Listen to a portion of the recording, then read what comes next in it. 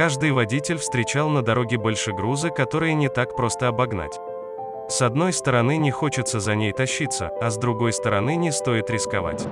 Так как из-за больших размеров мы не можем хорошо просмотреть дорогу, водители грузовиков зачастую помогают нам и подсказывают, когда самое подходящее время для обгона.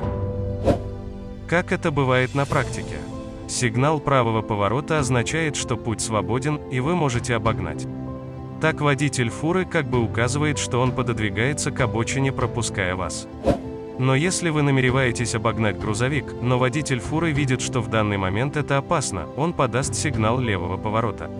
Это означает, что обгонять нельзя. Водитель фуры заметил, что вы не успеваете его обогнать, и указывает вам на это левым поворотником. Запомните, сигнал левого поворота означает, что обгонять нельзя. Хотя это и не прописано в правилах, это вполне логично. Сигнал левого поворота водитель может включить также и в других ситуациях, при которых обгонять нельзя. Например, он планирует объехать препятствие или собирается повернуть налево. Также он может сам начинать обгон впереди идущего автомобиля. Поэтому сигнал левого поворота означает, что обгонять нельзя.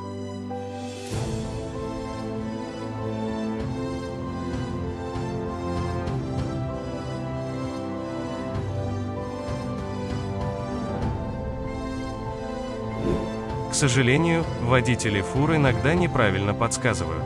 Они включают левый сигнал поворота, когда путь свободен, указывая на то, что их можно обгонять. Но так лучше не делать.